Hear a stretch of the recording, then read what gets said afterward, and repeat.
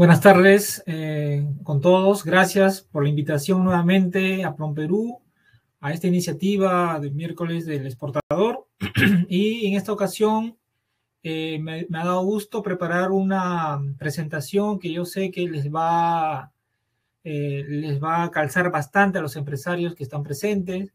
El, el objetivo es que esta, esta charla les, les sume o les lo apliquen realmente, ¿no? Un poco para conocer cómo se podría implementar la innovación o conocer qué están haciendo las empresas innovadoras eh, eh, dentro de la empresa, cómo, cómo la innovación funciona, ¿no? Muchos eh, empresarios, este, sé que es un, era siempre un deseo, ahora para muchos es una necesidad y hay cierto desconocimiento, cierta incertidumbre de cómo podríamos innovar, ¿no? Entonces yo espero que después de esta charla les quede más claro de qué se trata innovar en una empresa.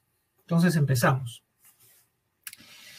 Bueno, acá empiezo con, una con un mensaje eh, que, digamos, ya eh, desmitifica algunas cosas, ¿no?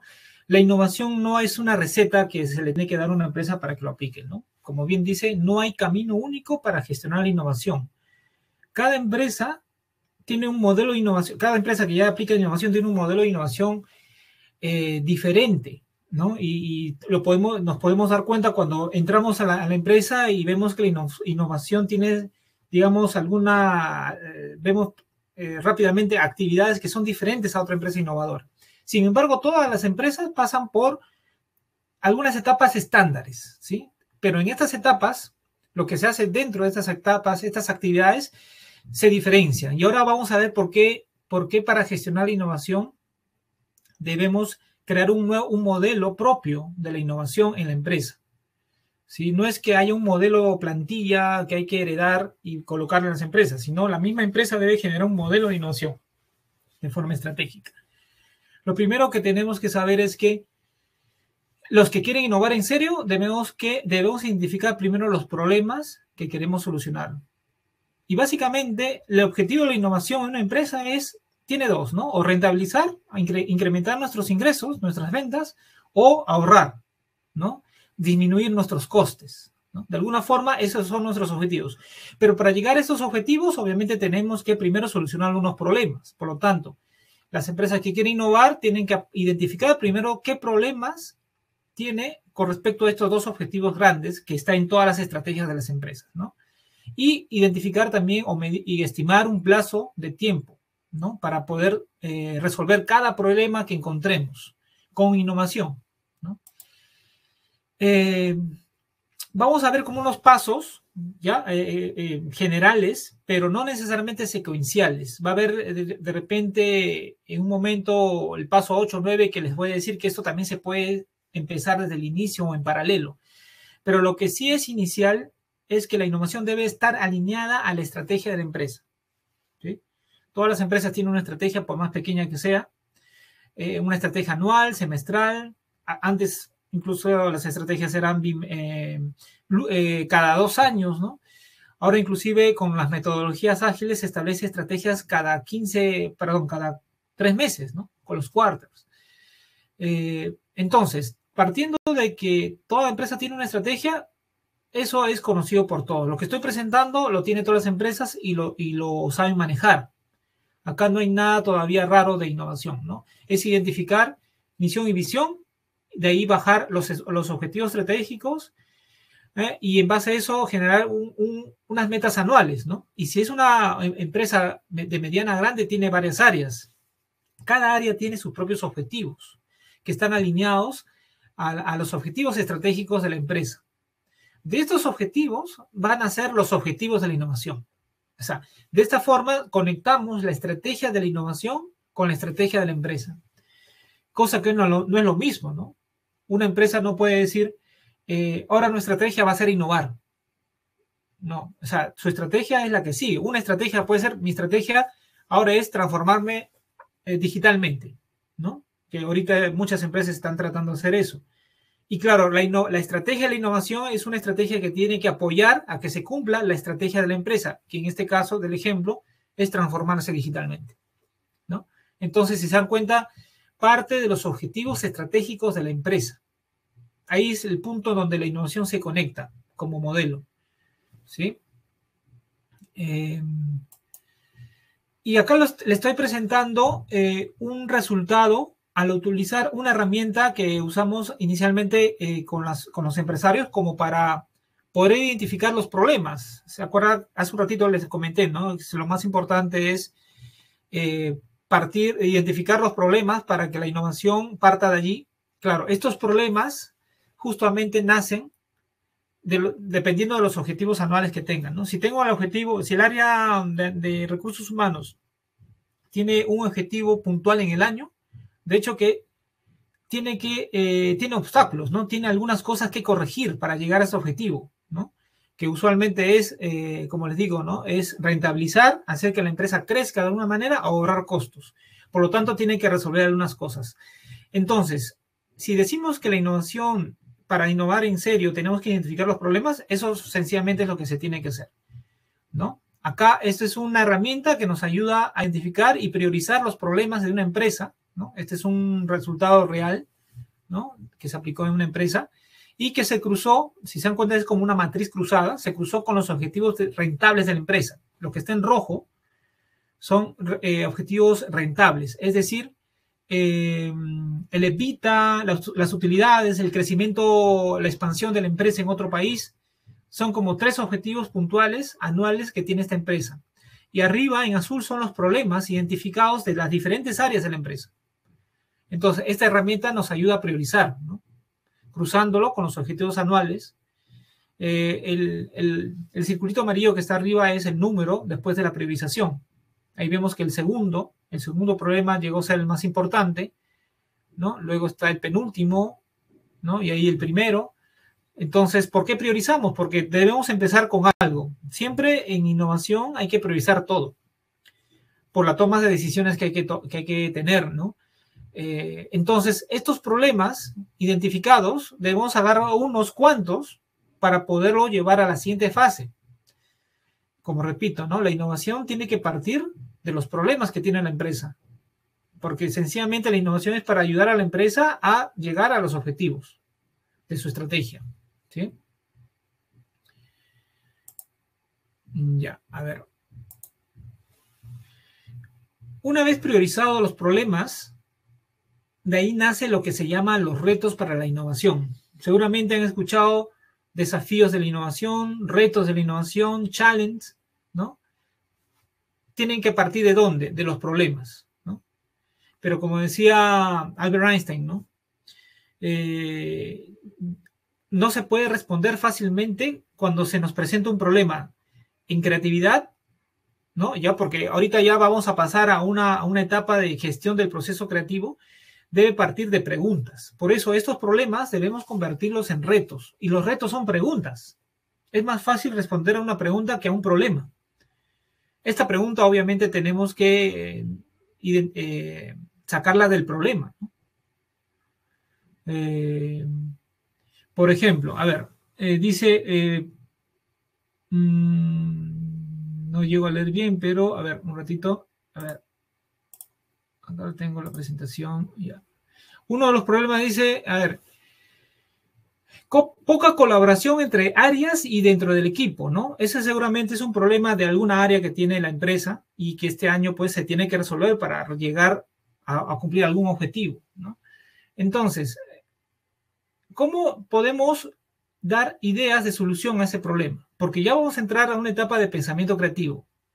Este problema se tiene que convertir en pregunta, o sea, en reto. Hay que reformular retos de, de un solo problema. Entonces, sencillamente un reto un poco más específico sería ideas para que, las, para que el área involucrada o todas las áreas involucradas eh, eh, tengan una, un mejor ambiente laboral, ¿no? Y eh, se pueda, pueda haber bastante comprensión o conocimiento o este, integración de los equipos, ¿no? De esa manera, obviamente, se va a lograr la, colaboración. Primero hay que conocerse. ¿Cómo se podrían conocer los equipos mejor? ¿O cómo podemos llegar a que dos áreas puedan colaborar? Si, si se dan cuenta, ya son como preguntas más específicas cuyas respuestas van a, de alguna manera, solucionar el problema, ¿no? Son como propuestas de solución, ¿no? Entonces, estos, eh, estos problemas se convierten en retos. Los retos en la innovación también hay que documentarlos, ¿no? Por más que sea una pregunta, ya sabemos que un reto viene de, una, de un problema, ¿no? Cuya respuesta de ese reto son ya como propuestas de solución. Entonces, este mismo reto, que acá vemos un ejemplo, ¿no? Cómo elaborar una estrategia conjunta que ofrezca tendencias en canales distintos a los que trabajamos hoy. Canales como, por ejemplo, web, móvil, mobile, bots, llamadas, etcétera, ¿no? Este, esta es una empresa, esto lo he sacado realmente de una intervención para una empresa que se dedicaba a, cuyo modelo de negocio es eh, eh, este, traer, ¿no? Importar eh, cajeros, ¿no? Y kioscos digitales y ofrecerlos a los bancos, a las tiendas, a los supermercados, ¿no? Ellos tienen la tecnología de, creo que era de Corea del Norte, Corea del Sur, Japón, China, perdón, y acá con sus programadores lo adaptan para que esté en español, que se adapte en el centro comercial, se adapte en los cajeros de los bancos, ¿no? Pero veían pues que esto, este modelo, ellos necesitan crecer, ¿no? No, no podrían quedarse solamente con esa línea de negocio. Entonces, ellos ya están aplicando innovación para poder saber cómo poder diseñar su empresa del futuro, ¿no? Y entre los objetivos era poder crecer, tener nuevas líneas de negocio. Y de ahí, de ese problema, por ejemplo, salió este reto, ¿no? ¿Cómo elaborar una estrategia conjunta que ofrezca tendencias de canales? O sea, que la empresa no solamente eh, coloque ATMs, esta tecnología, pues en, los bancos, en los centros comerciales, sino que también se ponga ya a ver otras líneas de negocio, como el desarrollo de webs, aplicaciones, bots, IBRs, llamadas, ¿no? ¿Por qué? Porque sienten que tienen las capacidades humanas, la gente ahí muy especialista en tecnología, que también podría hacer eso para las empresas, ¿no? Pero están viendo cuál es la mejor manera. Entonces, se documenta este reto, ¿no? Y este mismo reto se establece, ¿no? ¿Qué, qué, qué cosa queremos sacar de este reto? ¿Qué ideas queremos sacar? Entonces ponemos, ¿no? Objetivo de este reto es con el fin de desarrollar productos digitales, como aplicaciones y webs. Otras ideas que pueden salir de este reto es obtener reuniones de prospección en venta para desarrollo de productos digitales, ya no para la colocación de sus tecnologías, sino para desarrollar. ¿Por qué? Porque saben que tienen la, gente ahí que puede hacer eso. Desarrollar nuevos servicios digitales al cliente, a clientes actuales, ¿no? Ofrecerle a su mercado actual nuevos servicios. Y claro, y cada uno de estos objetivos tiene un, como un indicador, ¿no? Cantidad de proyectos, cantidad de reuniones de presentación, servicios ideados, ventas de nuevos servicios digitales en otros canales, etcétera. Hay que establecer un número, ¿no? Ahí pongo como ejemplo un número de proyectos, pero desde ya la empresa, dependiendo de la cantidad de gente que va a generar ideas, ponemos un número, ¿no? Queremos de este reto obtener por lo menos 10 ideas de aplicaciones, unas 5 formas de reunirnos con, con las empresas, con nuestros clientes y ofrecerles, salen ideas y hay que cuantificarlo, ¿no? Es como una meta del reto. ¿sí? A ver, ¿qué más? Eh, lo otro es que la, empresa debe tener claro, y esto es una de las cosas que sí, inclusive las empresas grandes no, tampoco no lo tiene, qué tipo de innovación quiere, porque finalmente, aparte de abrir una nueva línea de negocio, digamos, de nuevos servicios, también se podría innovar de una forma bastante disruptiva que marque la diferencia de, de, las empresas que ahorita se dedican a esto, ¿no? Entonces, primero es que hay que identificar qué tipo de innovación queremos, ¿no? O qué tipo de ideas queremos que salga finalmente. Entonces, yo pongo un ejemplo, acá si se dan cuenta, estoy poniendo de la industria del café una marca bien conocida por todos nosotros, que es Nescafé.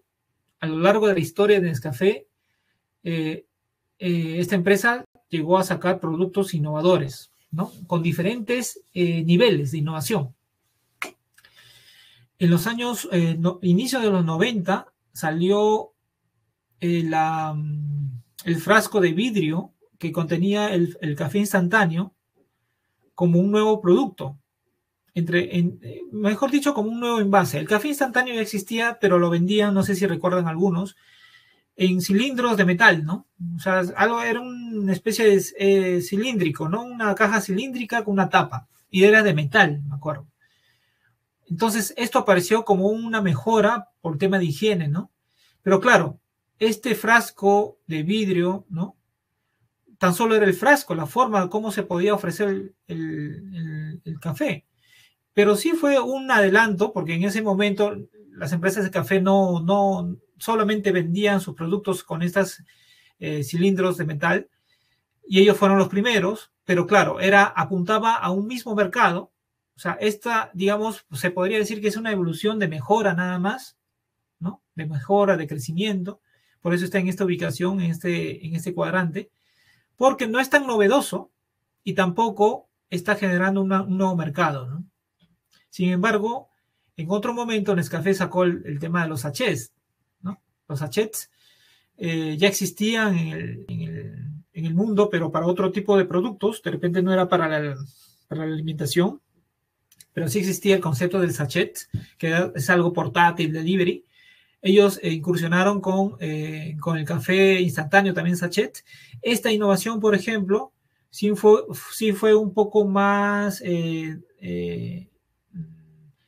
entre comillas, eh, radical, ¿no? Por no decir transformadora. Tampoco no era para tanto, porque el sachet, si se dan cuenta, ya existía, está en ese cuadrante, no era tan nuevo, no era tan original esa idea, pero, lo, pero sí captó un nuevo público objetivo, ¿no? Entonces, eh, podríamos decir que este, este producto está en ese cuadrante, ¿no?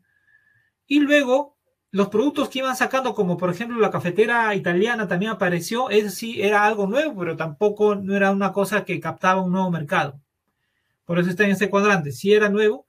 Y el Nespresso sí fue una innovación bastante notoria, bastante este, popular, ¿no? Eh, para los conocedores del café. Cuando salió, recuerdo, yo me acuerdo, eh, casi a finales de los 90, este, yo no lo entendía cómo, cómo, cómo funcionaba, pero cuando lo vi era lo más fácil, o sea, era demasiado práctico, ¿no? Claro, asustaba, ¿no? Creo que uno de los insights era ver este aparato para hacer café, ¿por qué tanto, no? Pero de pronto veías cápsulas y cómo funcionaba, entonces uno tenía el sesgo de, ahora, este qué, qué complicado, pero cuando uno se daba cuenta que tan solo metía la cápsula y nada más y ponía su vaso abajo, suficiente, era totalmente práctico y te salía el sabor del café pasado. Entonces, esto sí fue una innovación que produjo un cambio, transformadora, algo bien original, por eso está en ese cuadrante, nuevo y que este, sí, sí generó, abrió un nuevo mercado, ¿no? Aquella gente que sí le gustaba el café, pero tenía flojera en hacerlo, ¿no? Esta sí fue una innovación, incluso ya muchas empresas, otras empresas se, se copiaron, ¿no? De Nespresso. Nescafé abrió una nueva empresa, Nespresso, como un spin-off, ¿no? Se suele hacer eso, así como el BCP sacó Yape, fue tan exitoso y lo, independizó de, del BCP para abrir su, Yape ya es una empresa, Yape, ¿no? Eh, obviamente que recibe dinero del banco, pero mejor lo decidió sacar para que no, para que pueda crecer, porque dentro del banco con la burocracia y con todas las normas no puede crecer una, una, una innovación así, ¿no? Esto es lo que vemos nosotros tenemos que tener claro al inicio hacia dónde queremos, en qué cuadrante queremos sacar las ideas, ¿no? O al menos el momento de evaluar las ideas, qué criterio vamos a usar. La estrategia de la innovación tiene que partir desde el inicio. No vamos a esperar de las ideas a ver cuál es la que engancha, ¿no? Cuando se hace innovación, se tiene que identificar qué tipo de idea quiere, ¿no? Hasta se reúne el dueño de la empresa, tiene que decir, ya, yo sí realmente quiere una idea muy disruptiva, ¿no? Así como lo que está en el cuadrante del Nespresso. Pero ahí implica mayor riesgo, mayor gasto, ¿no? Hay que tener un capital de riesgo mayor, ¿no? Y también hay que tener en cuenta que al hacer innovación puede ser que no te salga, esto no, no, no enganche. Una innovación disruptiva, digamos un océano azul, está a un hilo de caer en un hoyo negro el mercado, si no, no, si no enganchas con tu mercado o con el nuevo mercado, ¿no? Entonces, está el riesgo. Hay que tener en cuenta eso. O sencillamente queremos salir de este problema haciendo innovaciones de mejora, como el frasco de, de Nescafé. Queremos ideas que salgan en ese cuadrante. No quiero arriesgar mucho, quiero ir un poco a la segura, porque por primera vez estoy haciendo innovación. El consejo es hacer algo así. ¿no? Eh, mejoras este, sacar este, eh, eh, pequeños eh, productos o servicios exitosos, pero, pero ¿cómo se llama? Este, que no involucre mucho riesgo, ¿no? Pequeños triunfos. ¿Para qué? Porque nos dé confianza el método, ¿no? Las metodologías que usamos en innovación. Em, luego de ello, de saber qué tipo de innovación queremos con, la, con las respuestas a este reto, pasamos ya con algo que es un poco más conocido, que a veces ya hemos visto en algunas empresas, que es este, este tema de las sesiones de creatividad, ¿no? De los posts y del papelógrafo, ¿no? Etcétera. Igual aquí hay dos cosas que las empresas no saben, ¿no? Esto igual hay que tenerlo como objetivo. ¿Cuántas ideas queremos que salga y qué cantidad de personas queremos que se involucren. ¿no? En el ejemplo dice 20 ideas por este reto, 20 ideas luego de haber hecho el filtro, ¿no? 20 ideas. O sea, de hecho que van a salir mucho más, pero hay que sacar 20 buenas ideas, ¿no? Para ser evaluadas y a ver de esas 20 cuáles pasan a, a proyecto. ¿Y cuántas personas queremos que intervengan en esta generación de ideas? También, el 50% de la empresa puede ser la estrategia, ¿no? Si son de 500 eh, empleados, 500 colaboradores, la mitad, 250 tienen que haber, eh, tienen que hacer esfuerzos o actividades por lo menos de un mes para, para que de ellos salgan las ideas poderosas. ¿no? Esa es una. Y la otra es que en esta, en esta etapa no solamente se saca ideas de estas sesiones o talleres de creatividad. ¿no? Eso no es así solamente, ¿no? Muchas personas o muchas empresas piensan que hay que hacer sesiones de creatividad y de ahí salen ya las ideas. Es una de las mejores actividades, incluso eh, eso promueve bastante, motiva a la gente del día a día que está en su trabajo para que haga otra cosa y, cuando usa su mente para generar ideas, en una sesión de creatividad, un poco que se animan mucho, hay bastantes voluntarios, ¿no? Y se aprovecha eso al inicio, ¿no? Para generar una cultura innovadora. Entonces, como vemos ahí en el cuadro, hay este, fuentes de inspiración, yo le, lo he puesto, que son las sesiones de creatividad, esos talleres que hay, que lo, recomendable es que sea semanalmente, un viernes en la tarde, un par de horas, todos los viernes en la tarde un par de horas para juntarnos con, con, con varios grupos, ¿no? de, colaboradores para que eh, en una hora y media, digamos, se genere ideas ante un problema, ante un reto. ¿sí? La frecuencia puede ser semanal. Otra fuente de inspiración es el sistema de vigilancia tecnológica, que yo he visto ya que muchas empresas lo están, lo están ya, eh, eh, lo están ejecutando, incluso lo están planificando primero, ¿no? Es, un proceso, es un proceso como cualquier otro proceso en el cual tiene pasos, ¿no?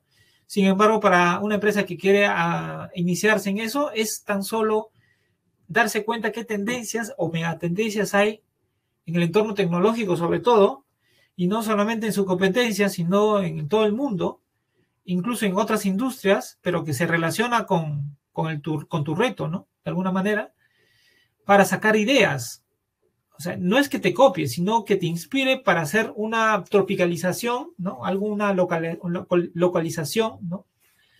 De cómo esto que si funciona bien en Corea del Norte, a ver si funciona bien en Lima, ¿no? Con el cambio cultural vas adaptando esa idea, vas probando, ensayo, prueba, error, ¿no? A ver qué sucede, ¿no? Eh, eso también es válido, ¿no? La investigación la, de la vigilancia tecnológica es parecido al benchmark, ¿no? Uno cuando hace un estudio de tendencias, ¿no? Algo así parecido. Pero acá sí, eh, si alguien quiere hacer en serio este sistema de vigilancia tecnológica, hay que formar un comité de observación de tendencias, ¿no? Un observatorio de tendencias, se le dice. Un conjunto de personas cuyas habilidades, e incluso, incluso este es voluntario, ¿no? Detectamos a personas que siempre están actualizándose de lo que hay, ¿no? Sobre todo la gente de, ventas, de marketing y de tecnología, están viendo qué es lo que sucede en el mundo, ¿no? Ellos son los, los más este, inclinados a formar parte del equipo de vigilancia tecnológica, que igual, como les digo, hay que generar un documento. Si se dan cuenta, esto se tiene que documentar, porque si se deja así nomás, cuando haya tiempo, mandas un correo a ver qué has investigado, es muy informal. tenemos que empezar esto de, forma formal porque si no desaparece en el tiempo las actividades de innovación. Tiene que haber un encargado de, de todas estas etapas, ¿no? De estar viendo si se está cumpliendo, de estar generando los, los equipos, los coach. Entonces, si se dan cuenta, pues hay que asignar tiempo a esto. Después, otra fuente de inspiración están los insights de exploración del cliente, ¿no? Muchas empresas están haciendo investigación de usuarios, investigación al cliente, sus clientes actuales, para ver nuevos comportamientos de consumo, de uso, nueva conducta con, que tiene los usuarios después de esta, de esta crisis que hemos tenido y que seguimos, seguimos en esta de la pandemia. Hemos cambiado de hábitos, actitudes y por lo tanto, si las personas y los clientes han cambiado, las empresas también tienen que cambiar, ¿no? Para eso hay que medir cómo está la situación ahorita, qué prefieren. Más allá de los estudios que uno puede comprar o ver en internet, estos insights se saca de tu cliente o sea, tu cliente fijo, o sea, de lo que tú como empresa tienes como cliente, tienes que investigar, tienes que hacer tus focus, ¿no? Hay otras técnicas de exploración, encuestas y saber ahora cómo son en relación a tu producto. Esos resultados de esa investigación, de esos resultados también salen las ideas, ¿no? Pero tanto la vigilancia tecnológica como los insights ya no, ya no puede ser tan semanal, ¿no? Porque tampoco no es lo más adecuado. Eso puede ser mensual, bimestral o trimestral, ¿no? Con esa frecuencia, pero nunca dejar de hacerlo. Luego viene el listado activo de compartido de ideas. El cuarto punto es algo prácticamente que vemos siempre. Incluso nosotros siempre, eh, a veces nos hemos tenido alguna idea, alguna propuesta en, el trabajo o, en nuestro negocio en el cual eh, podría ser una solución, ¿no? De un problema que hay pero a veces no le hemos dicho o nos las guardamos, ¿no? Entonces, a veces no, no, no vemos esa idea, nos las guardamos esencialmente, o a veces lo decimos a nuestro jefe y el jefe nos dice, no, esto ya lo hemos hecho, o lo veo de otro punto de vista, o nos dice, este, ya lo vamos a ver el próximo vez y ahí nos olvidamos. Entonces, para poder registrar estas ideas individuales de cada empleado, porque el reto pues se tiene que ser muy transparente las empresas, todos los empleados deben saber en qué retos de innovación estamos.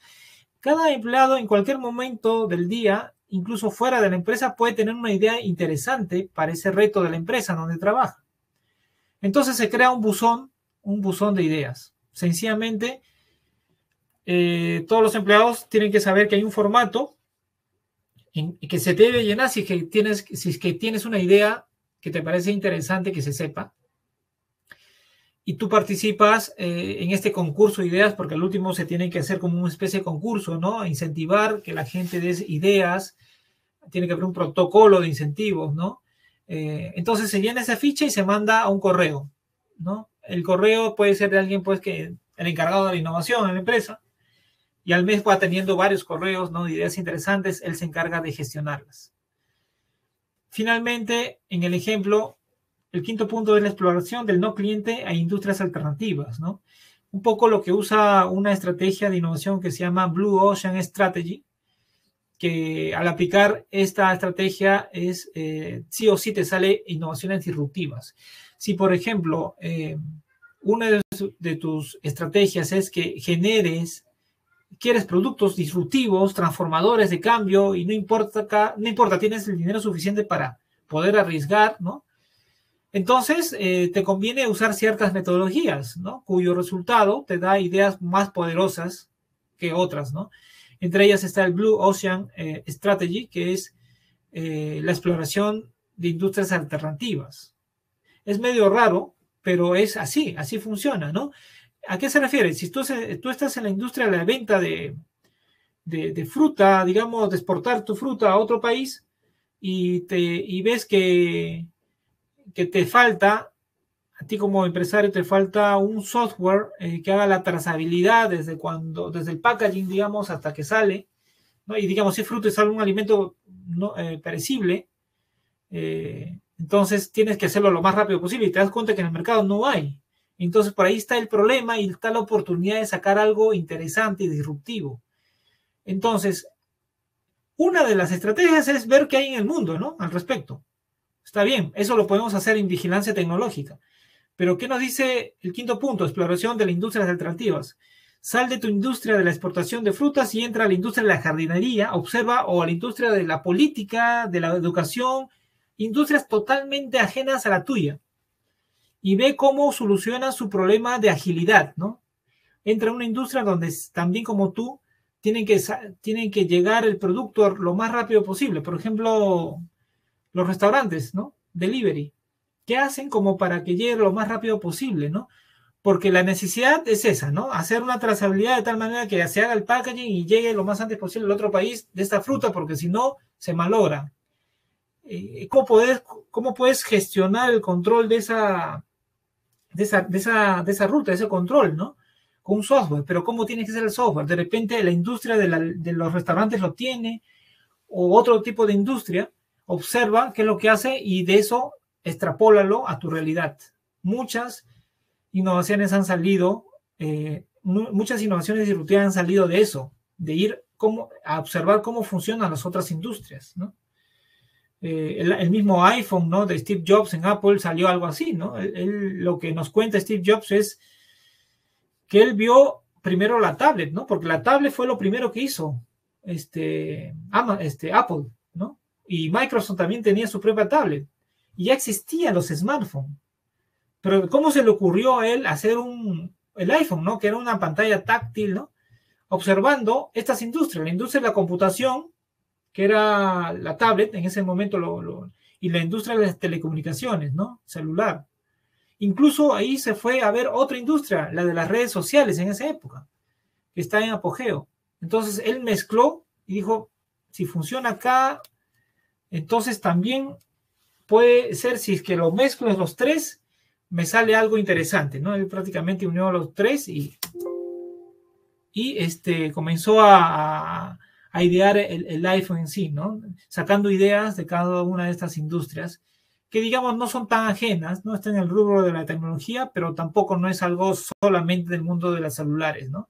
Sacó de la industria de la computación y la industria de la, de la tecnología de la información, ¿no? Entonces, si, nosotros queremos ideas disruptivas, hay metodologías para eso.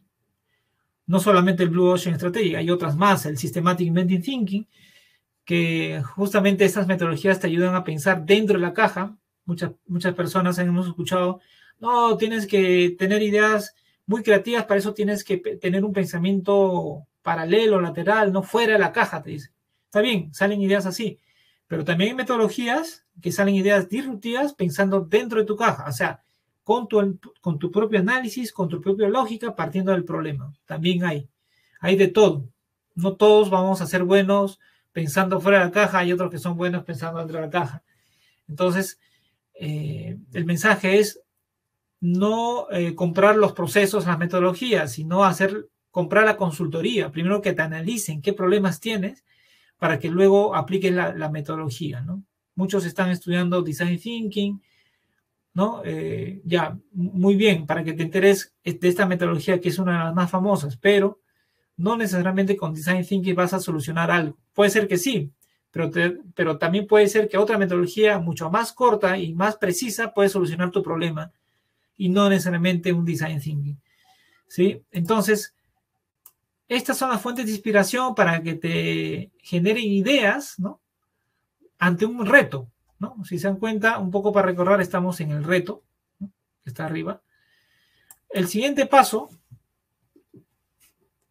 el siguiente paso es la evaluación de ideas, que para eso también tenemos que, tiene, no es, no es que tenga metodología, sino es un proceso filtrado en el cual hay que hacerlo en orden. Primero evaluar por impacto, luego por factibilidad, luego por viabilidad, ¿no? Como dice ahí, ¿no? Y también para evaluar esas digamos, que hayan salido de este reto unas 60 ideas.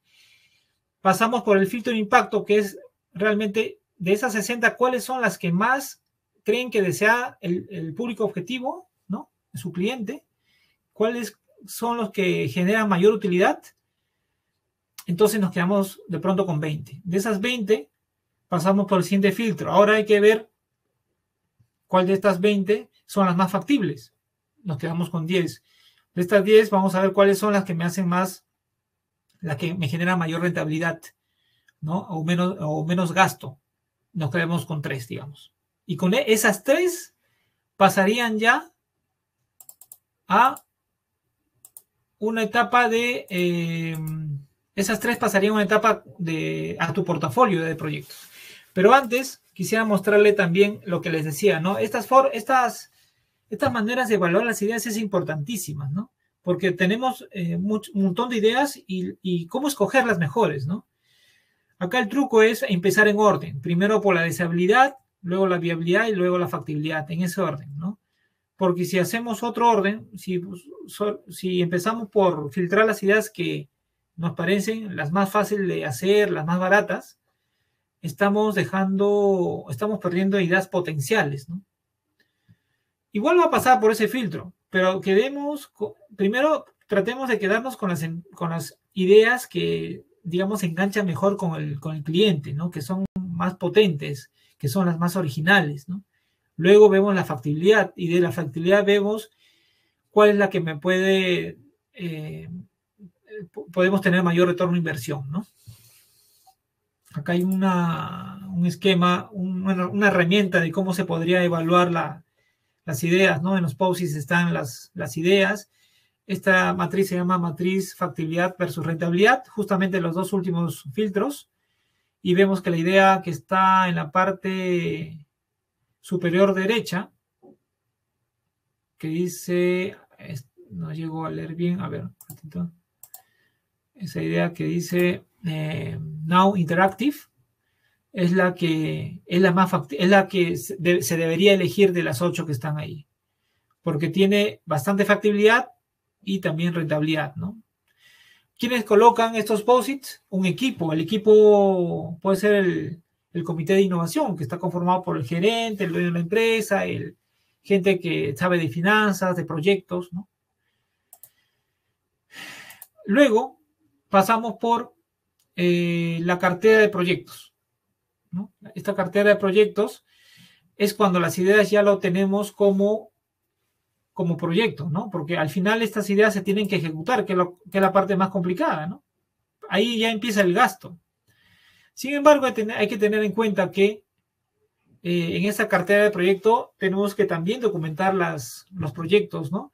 Que incluso en tu cartera puede haber productos, servicios, procesos, ¿no? En diferentes fases, ¿no? Eh, puedes catalogarlas también o categorizarlas dependiendo del impacto, la viabilidad técnica, la viabilidad comercial, el riesgo, ¿no? Alto, medio, bajo.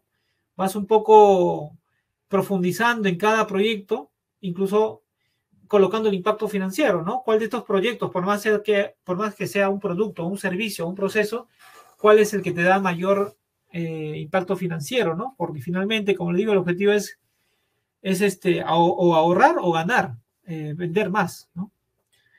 Y eh, le vas, vas poniendo el estado que se encuentra cada proyecto, porque las ideas van llegando, no todas a la vez, sino semanalmente, mensualmente, algunas empiezan, algunas se atrasan, dependiendo también de algunas variables de decisión. Cada uno tiene su, su tiempo, su estado ¿no? de progreso. Esto le da mucha tranquilidad al gerente general, al dueño de la empresa, porque es un panel de control donde ve las ideas que supuestamente él está dando tiempo y presupuesto para que se genere innovación en su empresa. ¿no? Esto es un ejemplo, esta tabla, pero puede ser mucho más este, formal con otras variables, ¿no? Con otras columnas, de tal manera que sí se, se genere un panel de control, digamos, ¿no? Que le da tranquilidad a todos los, los, los encargados de la innovación. Cada proyecto tiene que tener una ficha con mayor profundidad, ¿no? Obviamente, ¿no? Eh, puede ser el alcance ya que necesita la gente de, que va a construir, que va a empezar con metodologías ágiles la gente que va a prototipar necesita entender de qué se trató la idea. O sea, puede ser que un grupo lo, genere y otro grupo lo haga. El que lo hace, el grupo que lo hace, tiene que enterarse cuál es el propósito que tiene esta idea, ¿no? Qué, a dónde se quiere llegar. Incluso puede haber reuniones para que se expliquen bien, pero sí tiene que haber una ficha, una ficha de la idea ya hecha proyecto. ¿no? Puede ser un alcance, como les digo, ya más detallado del proyecto, donde se, se diga la fecha inicio, fecha fin, los involucrados, el público objetivo, el presupuesto, ¿no? etcétera. Luego, gestión de talentos. Esto, por ejemplo, se podría haber empezado también en paralelo en otras fases, en las fases anteriores, porque el que se encarga de la innovación tiene que saber que la empresa no necesariamente va a contratar a más personas para que hagan estos proyectos. Lo ideal y lo que debería hacer siempre es que la, que la misma empresa se dé tiempo para ejecutar estos proyectos. Y todo el mundo pero si todos están trabajando en horario de 8, de 9 a 6 de la mañana, estamos que, este, este, apagando incendios, no tenemos tiempo. ¿Cómo vamos a hacer? Ya, hay que sacar tiempo. Y ese es el esfuerzo y esa es la mayor resistencia que tienen las empresas al momento de enterarse de qué se trata eh, eh, innovar ¿no? dentro de la empresa. Pero lo bueno que hay fórmulas, ¿no? Hay, que optimizar los procesos. Cuando ellos hacen una auditoría de procesos, se dan cuenta que hay un montón de cuellos botellas. Hay hay gente poco eficiente. Hay procesos poco, de muchos pasos que se podrían optimizar todo eso se tiene que hacer antes de empezar la innovación, ¿no? Pero esos procesos de, optimización, ¿no? De, auditoría en los procesos, ese es algo que está fuera de la gestión de la innovación. Eso lo tienen que hacer las empresas. Y más allá que, que quieran adoptar un modelo innovador, tienen que hacerlo ya, porque ahí se generan muchas pérdidas ahí, ¿no? Este, hay que hacerlo para que tengan tiempo. Una vez que se vea, que vea, que veamos que hay cierto tiempo para, para la ejecución de estos proyectos, hay que asignarlos. Entonces, este cuadro que estamos viendo es la asignación de los empleados que actualmente trabajan en las empresas, que hacen su rol, de alguna manera van a participar en el desarrollo e implementación de, de cada uno de estos proyectos en todo el año. Hay que sacar tiempo. No necesariamente va a estar 100%. Digamos, en el mes de enero y febrero, dos trabajadores van a estar en un 15% y un 50% haciendo el proyecto A. El proyecto B va a empezar, o el proyecto E va a empezar en abril, va a durar tres meses y lo van a hacer cuatro trabajadores. En los dos últimos meses van a estar el 100%. ¿Por qué? Porque esto va, vamos planificando, ¿no? Viendo en todas las áreas, sobre todo las de proyectos, cuál podría y cuál no. Si hay inversión, si hay capital para poder contratar a una empresa especialista en algo, porque a veces el proyecto es tan especializado que si no hay ningún recurso en la empresa que haga, hay que contratarlo, ¿no? Por algo hay que tener la inversión, el capital semilla para esto. Entonces necesitamos la externalización, ¿no? Ahí también en este cuadro se debe detectar eso. Eh, ya, otro, otro, otro proceso en, en, la gestión de la innovación, en el plan mínimo operativo, es también fomentar las capacidades innovadoras. Es detectar primero qué capacidades innovadoras tiene tu empresa, ¿no? ¿Hay algún perfil tecnológico que pueda ver los proyectos de innovación? ¿Cuál es el perfil creativo? ¿Alguien de repente se va a ofrecer eh, como como coach de creatividad, ¿no? Ya alguien que, quiere, ya que se capacite un mes, le mandamos a capacitar un mes para que sea entrenador o coach de creatividad en la empresa, para que él se encargue de generar las sesiones de creatividad, ¿no? Hay un perfil de gestión ¿no? Sí, pero está al 100%, ya, entonces necesitamos contratar, contratar externamente. Perfil financiero, sí, actualmente hay, excelente, y, muy bueno, ya, él se va a encargar. No tenemos que contratar a nadie. Perfil ejecutivo también hay. Entonces, finalmente, en el ejemplo vemos que hay que contratar un perfil creativo y un perfil de gestión de la innovación, que carece la empresa. Internamente no hay. Entonces, tenemos que contratar adquisición externa. Luego, y en paralelo también es importante ir comentando, comunicando esto a los demás eh, colaboradores de la empresa, ¿no? Yo me imagino una empresa de 200 personas, 100, 200, 500, de alguna manera tienen que enterarse de que algunos de sus compañeros están haciendo esfuerzos y ellos también tienen que hacer, al menos capacitándose, ¿no? Hay listado de cursos que tienen que llevar, que tienen que saber por ejemplo, cursos básicos de innovación, toda la, gente de la empresa tiene que alinearse a este tema de la innovación, talleres de herramientas de divergencia, estrategias, metodologías. No es para que lo usen, sino para que conozcan de qué se trata este tema que está viendo la empresa, porque están viendo que algunos van, están invirtiendo su tiempo en algunos proyectos medio raros y tienen que enterarse de dónde se generó ese proyecto, etcétera, ¿no? Listar las alianzas con colaboradores externos también, ¿no? Si vemos que en la empresa, bueno, son 15 personas, pero los 15 somos muy, somos muy eh, estructurados, no tenemos mucha creatividad, ah, entonces hagamos innovación abierta, que la gente de afuera nos ayude a generar las ideas. Podemos alianzarnos con una universidad, hacemos una hackathon para que las ideas salgan de afuera. Si carecemos, si para un proyecto necesitamos eh, investigadores, ¿no? Contratemos, ¿no? Eh, psicólogos del comportamiento, si necesitamos para este proyecto diseñadores, tenemos que contratar un diseñador, aunque sea freelance, o sencillamente eh, contratamos una consultora que esté tres meses y, ejecute el proyecto. Pero como repito, lo más importante es que dentro de la empresa se haga el proyecto. ¿Por qué? Porque la empresa va eh, adoptando una cultura innovadora. ¿Qué hacen las grandes empresas? Como tienen un montón de plata, ellos arman su área de innovación, lo llaman laboratorio de innovación, ¿no? Los labs de innovación, ¿no? Y, y con los laboratorios de innovación, que como tienen mucha plata, generan una nueva área de innovación y ellos se encargan de todo, nada más. en un banco, por ejemplo, hay una, un laboratorio de innovación y las otras 14 áreas del banco no huelen nada de, innovación, no hacen nada respecto, solo mira cómo, cómo sacan los proyectos, ¿no? Este, este laboratorio. Entonces, ahí, por ejemplo, la desventaja es que eh, pueden sacar productos innovadores, como el banco, ¿no? Sacó Yape, el otro sacó Plin, etc. Eh, pero el banco sigue siendo una empresa no innovadora, no tiene cultura innovadora. El área de innovación tiene la cultura innovadora, pero las otras 12 áreas, que es el 80% de la empresa, no es innovador. ¿no? Incluso este, sé de una empresa de seguro grande en el Perú que el año 2020 quebró su área de innovación, o sea, lo desapareció, porque por el gasto que implica, ¿no? Se fueron toda esa gente, ni una, y, la empresa pues quedó sin laboratorio de innovación, y ahora como tienen presupuesto están armando su laboratorio de innovación nuevamente. Entonces eh, nunca llegan a ser innovadores, contratan ¿no? gente para que sea innovador, ya innovadora, digamos, y en el área comienzan a generar sus productos, ¿no? O sea, como tienen plata, entonces pueden hacer eso, pero no llegan a ser una empresa innovadora. ¿no? Entonces, pueden generar productos innovadores gracias a ese laboratorio, pero la empresa no, no es innovadora.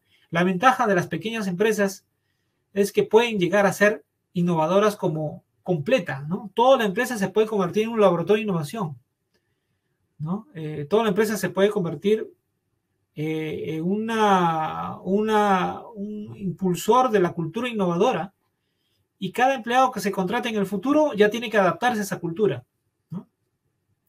Las grandes empresas innovadoras en el mundo nacieron chicas y desde chicas se empezaron con esa cultura innovadora.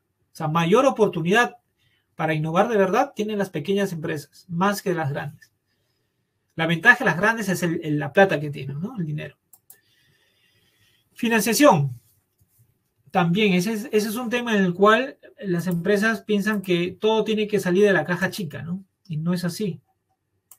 Esto cuando se le presenta a las empresas, eh, a los empresarios, un poco se tranquilizan porque como son cuadros con números, ya un poco pueden este, eh, les doy algunas ideas de cómo pueden sacar dinero para innovar y no, y no pierdan tanto, ¿no? Algunos ejemplos, por ejemplo, el proyecto A, 8 mil dólares como ejemplo de presupuesto. Cuando es financiación propia, obviamente tiene que ser de la, de la caja chica y de una área, ¿no? Si la asignaste a una área en presupuesto, esa y ese, ese proyecto va a beneficiar esa área, entonces sacas el dinero de ahí.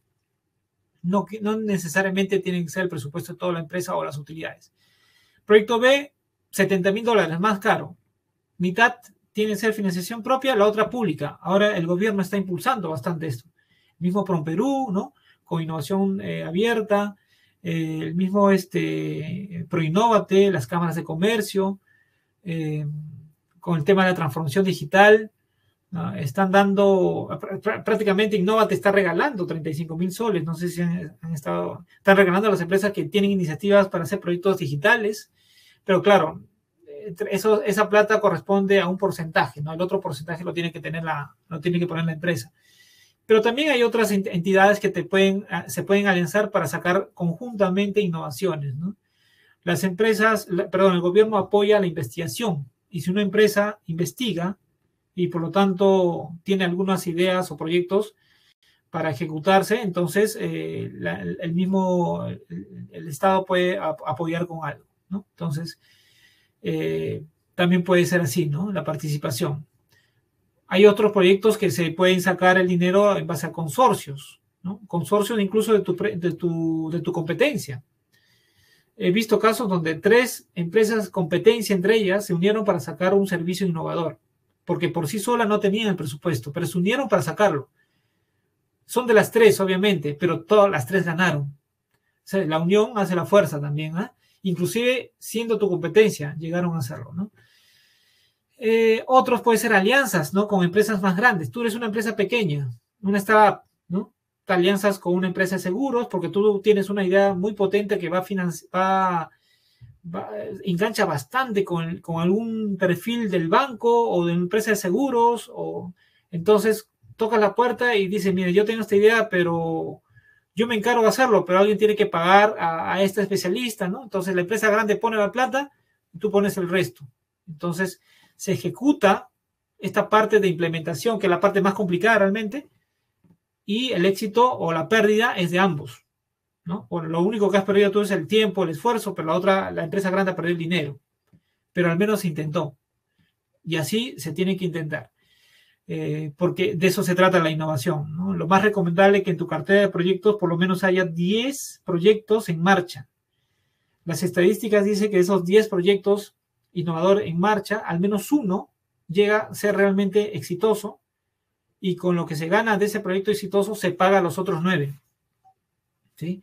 De nada sirve tener uno o dos proyectos en la cartera, en la cartera, en portafolio de proyectos, salvo que sea mínimo el, el, gasto, el presupuesto, para que el dolor en caso que se pierda, pues este, que es más probable con dos proyectos, ninguno de dos sean innovadores. Este, si, si, vas a hacer así, tienen que ser gastos pequeños, ¿no? Experimentos prácticamente, con poco presupuesto pero lo más recomendable de una empresa que ya ha aprendido la chimenea y está con el motor de la innovación es que en su portafolio tengan, pues, en el año se ejecuten 10 proyectos, ¿no? Por lo menos. Ahora estamos viendo algo que usualmente se ve en, Internet cuando hablamos de, innovación, ¿no? Este embudo que estamos viendo es lo que usualmente vemos en Internet, ¿no? Eh, y las ideas pasan por un filtro y nos quedamos con unas cuantas. Esas cuantas pasan eh, por un tema que se llama portafolio o, cartera de proyectos, ¿no? Si se dan cuenta. Estoy un poco ya con esto resumiendo lo que hemos visto, ¿no?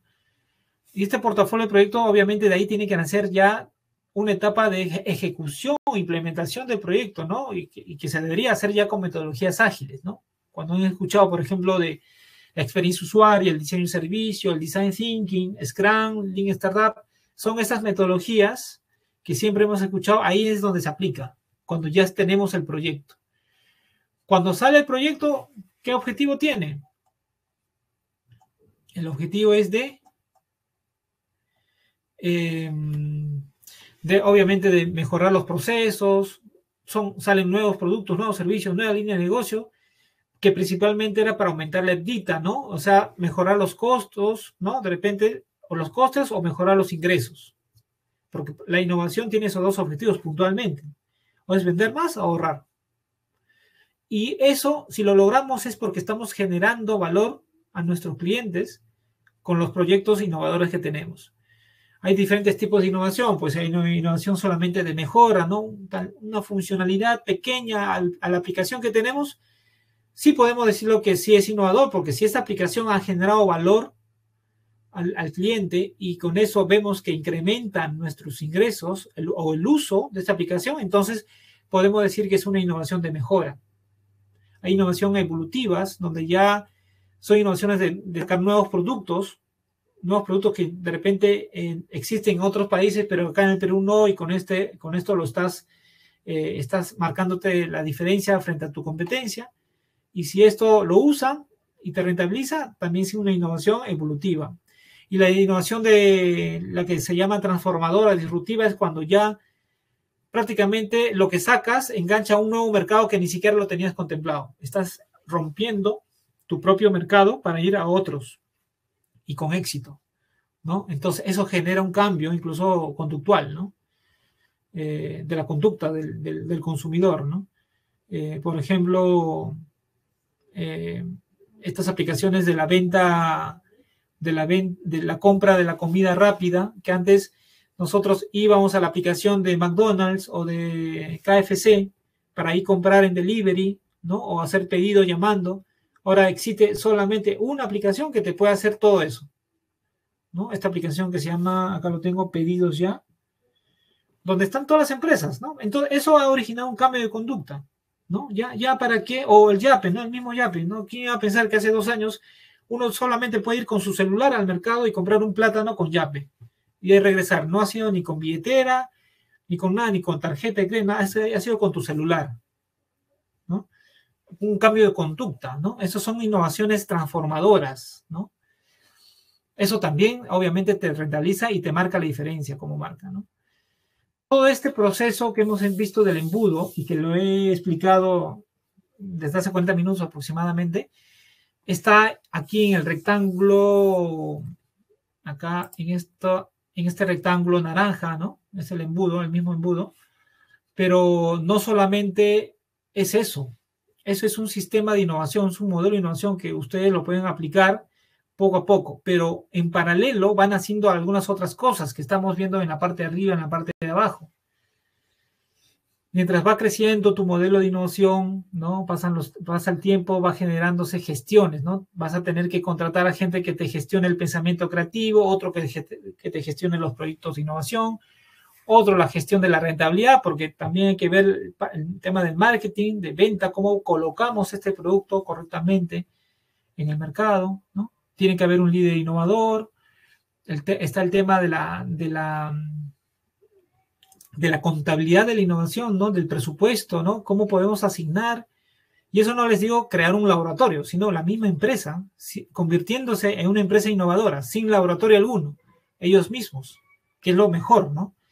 Y abajo justamente, ejecutando ellos mismos, te genera una cultura, una cultura innovadora, que es lo más importante. Porque si ya tienes una cultura innovadora, esto ya es sostenible, ya no cae, no debe caer en el tiempo. La innovación debe nacer y nunca terminar. No es una meta la innovar, es un recorrido donde tiene que nacer y la cultura les ayuda a sostenerlo. O sea, va a ser tan natural, esta forma de trabajo que ya eh, no pueden retroceder. Ya eh, se dan cuenta que esto es la forma, la nueva forma de trabajar y les da bastante rentabilidad y les ayuda a a defenderse en cualquier crisis. ¿sí? Finalmente, quisiera eh, que se queden con esto, ¿no? Ese es un mensaje también para, todas las empresas. Eh, tenemos ideas innovadoras, muchas empresas, de hecho, que tienen ya ideas interesantes, pero se quedan en las ideas, ¿no? Esa es la mayoría, ¿no? tener ideas es la parte más fácil. Cualquiera puede tener ideas y muy buenas. Otra es generar de las ideas proyectos de innovación. Es el siguiente nivel, ¿no? Hasta ahí también hay algunas empresas que están, ¿no? Generando proyectos de innovación en base a estas ideas. Pero para que esto funcione bien hay que generar un plan de innovación, ¿no? Un plan como les estoy mostrando, un plan de innovación, aunque sea mínimo, para que esto sea sistemático y no solamente sea la moda del mes o el experimento del año, sino ya desde una nomás, que no sea un experimento, que el experimento sea el plan, no el proyecto, sino el plan donde tienes muchos proyectos, ¿no? No solamente uno. Luego viene gestionar ese plan, ¿no? Gestionar todas estas etapas, que puede haber una o dos personas, gestionar, no necesariamente tiene que ser el gerente, pero de hecho que tiene que estar con la venia del, dueño de la empresa, ¿no? Y, el que gestiona todo este plan de, de, innovación debe estar casi al nivel del gerente general, debe tener así, casi igual, igual, porque hay decisiones que tienen que ser prácticamente de mando de arriba hacia abajo, porque si no, se puede quebrar al inicio. Y todo esto sirve finalmente para generar la cultura innovadora. Pero ojo con eso, si no, si solamente haces proyectos, que es la mayoría, no conseguirás una cultura innovadora. Y si no, no consigues la cultura innovadora, no llegas que, tu, que, el, que, que la innovación realmente eh, sea sostenible en tu empresa. Prácticamente eh, así sea tu proyecto exitoso, vas a, regresar como estabas antes, si no hay un plan, si no hay una cultura. La cultura me refiero a las mentes de las personas que trabajan en la empresa, partiendo desde el dueño de la empresa hasta los practicantes. Todos deben tener claro esto, que es una nueva forma de, gestionar, de una forma de trabajar muy nueva, muy interesante, pero que sí demanda tiempo. Entonces, ese es el mensaje que les doy. Hasta aquí llega mi presentación. Espero que les haya quedado claro. Eh, no sé si tendrán algunas preguntas para entrar a la sesión de preguntas. Eh, sí, muy bien, Percy. A ver, acá tenemos eh, algunas preguntas por interno. A ver. Juan Torres, ¿qué prácticas diarias en equipo se pueden implementar para aplicar la creatividad en un entorno laboral? Ya. Eh, más que prácticas o dinámicas, son como hábitos, hábitos que debemos tener, inclusive yo les diría individualmente primero. De hecho, que de forma grupal generas cultura, ¿no? nuevas actitudes innovadoras, porque reúnes a tu grupo de personas en la empresa y ya tan solo reunir un viernes en la tarde para ver alguna sesión de creatividad, ya estás comunicando que la empresa quiere ser innovadora, que necesita sus mentes innovadoras, creativas para generar soluciones. Eso está muy bien. Pero para ejercitar la creatividad, yo les recomiendo siempre en forma individual primero. Hay ejercicios, eh, yo lo llamo ejercicios mentales creativos, ¿no? Eh, por ejemplo, eh, existe el tema de la fijación cognitiva. ¿Qué significa la fijación? Perdón, la fijación funcional. La fijación funcional es sola es, lo, es, la, es la manera de usar de diferentes formas algo, que, siempre lo vemos que, sirve para algo. Por ejemplo, hay ejercicios tan simples como eh, un clip, ¿no? Un clip te sirve para sostener hojas, ya. Búscale 30 funciones diferentes a ese fierrito. Y estoy casi seguro que cada uno de, los, colaboradores de la empresa le va a, va a salir de, su mente 20 funciones diferentes son, si se dan cuenta, son como ejercicios mentales. Ahí está rompiendo esa fijación funcional que tenemos. Ejercicios también que pueden hacerlo, incluso yo les hago, los hago con mis hijos, ¿no? O sea, trato de que no solamente, por ejemplo, eh, se laven los dientes con la mano derecha, sino con a manera de juego, a ver si pueden hacerlo con la mano izquierda, ¿no? O, este, ahí estoy rompiendo una fijación funcional, por ejemplo, ¿no? O que coman con la mano izquierda siendo diestros, o que escriban su nombre con la mano izquierda, romper esos, este, esos paradigmas de que siempre algo se tiene que utilizar como lo que estamos acostumbrados. Esa automatización eh, está muy buena también, ¿no? Porque eso nos ayuda a ser eficientes, a ser rápidos, pero perjudica mucho en la creatividad, ¿no? Tratar, primero empezar con el tema individual, ¿no? Tratar, hay varios ejercicios que les recomiendo que vayan, eh, vayan a internet, ejercicios de creatividad, hay un montón, eso primero ejercitándolo, eso también se puede hacer en forma grupal, ¿no? Como un rompehielo, ¿no? Yo, yo lo he hecho en varias empresas, eh, ejercicios primero en forma individual, para que se den cuenta que sí son creativos, solamente hay que, hay que verlo de otra forma. La técnica se ayuda a, a, bajar ese, esa, esa variable de la creatividad que es el conocimiento y el juicio que tenemos, que a veces nos sabotea, para que un poco bloquear eso para que ebulla la imaginación. El, tema de la confianza creativa también. Muchos colaboradores, muchos empleados tienen las ideas, pero no tienen miedo de, decir sus ideas, ¿no? Y cuando comienzan a decir sus ideas, después de técnicas de creatividad, digamos, que estimulan eso, te das cuenta que esta persona era muy creativa. Incluso está en un área, trabajando en una área que no, que no tiene nada que ver con, la, con los proyectos, ¿no? Área contable, área de recursos humanos, gente demasiado creativa que OB está trabajando ahí, pero que puede participar en los talleres de creatividad, ¿no? Otra cosa que les recomiendo, hay evaluaciones de la creatividad en línea. O sea, hay un test de creatividad, eh, hay varios tests para identificar qué tan creativo es cada persona. Entonces, si una empresa tiene, no sé, 50 colaboradores o más, no importa, incluso eso lo he, lo he evaluado a una empresa de 500, eh, eh, se evalúa en línea, llenan el formulario y le sale un número. Ese número significa que está en el perfil tal, es, es, tiene bastante divergencia, o otra persona tiene bastante convergencia, es bueno analizando. O sea, no necesariamente en la creatividad es solamente diverger y, y las ideas fantásticas, sino también tener un buen pensamiento crítico para evaluarlas. Si se dan cuenta, en la ideación, como hemos visto ahora, puedes generar ideas, pero también hay que evaluarlas. Entonces, tanto la divergencia como la convergencia, es muy importante que tu equipo uh, lo ejercite.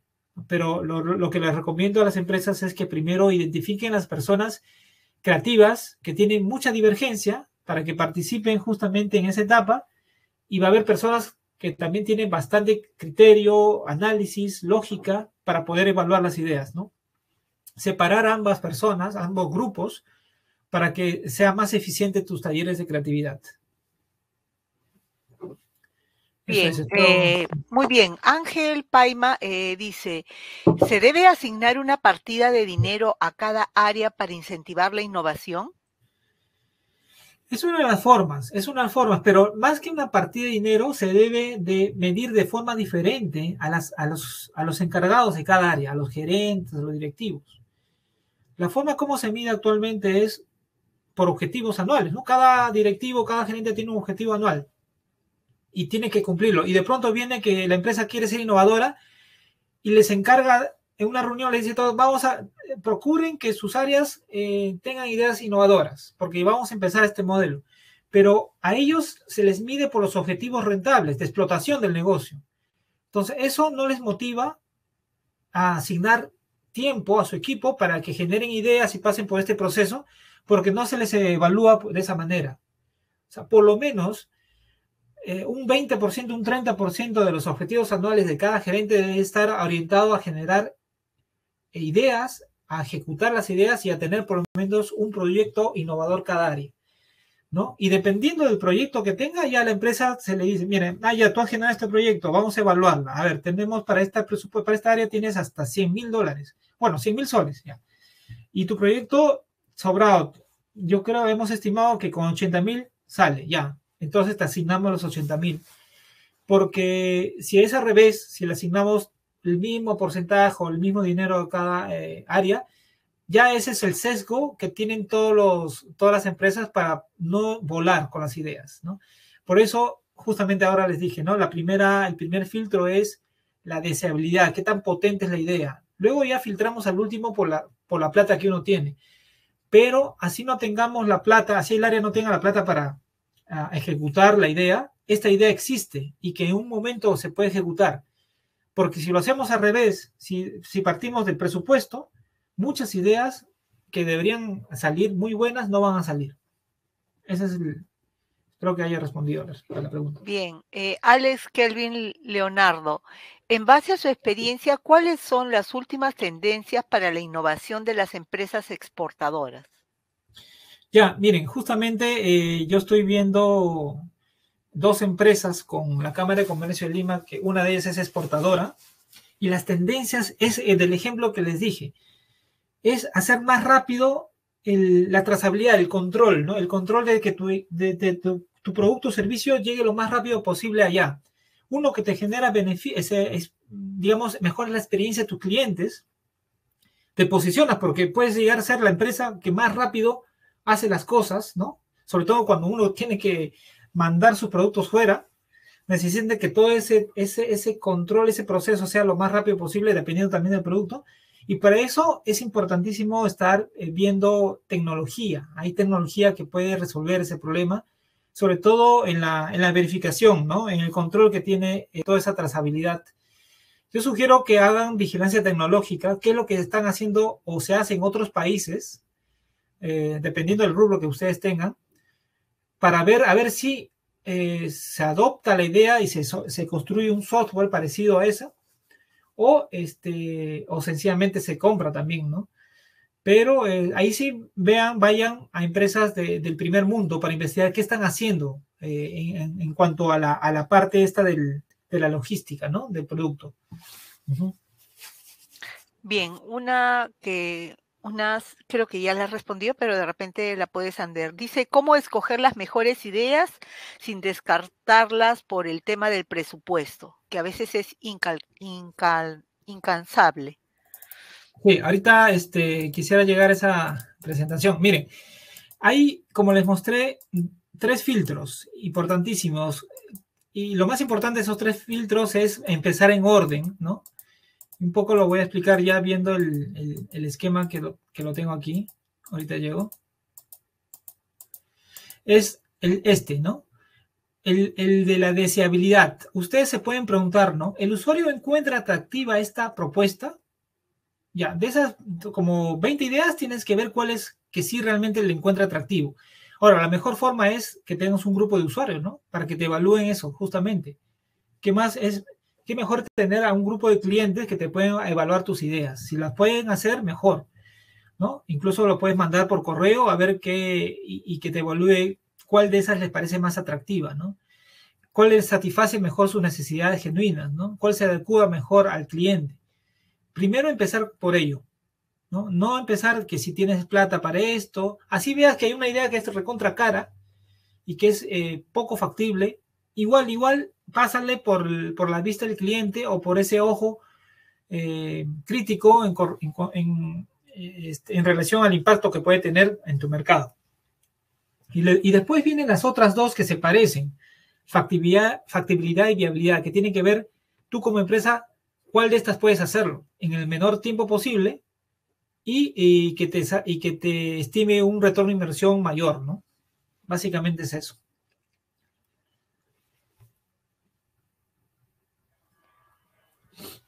Ok, muy bien, eh, Percy. Eh, creo que esa era la última pregunta. Mm, agradecerte bastante tu, tu presentación sobre todo los tips prácticos para innovar ahora en todo lo que es transformación digital. ¿Algunas palabras antes de terminar? No, sí, pero muchas gracias por, la invitación y, gracias por la por permitirme compartir y a la audiencia también, ¿no? Por espero que les haya servido y que sola, y que no necesariamente eh, lo, lo, tengan como el conocimiento, que si no, de, de, alguna manera les inspire ya a empezar esto el mensaje que les doy ya es que muchas empresas, pymes, están ya en este camino. Yo como consultor estoy viendo varias, varias de estas cosas, entonces veo que ya se están poniendo la, en marcha algunas iniciativas de innovación y de transformación digital.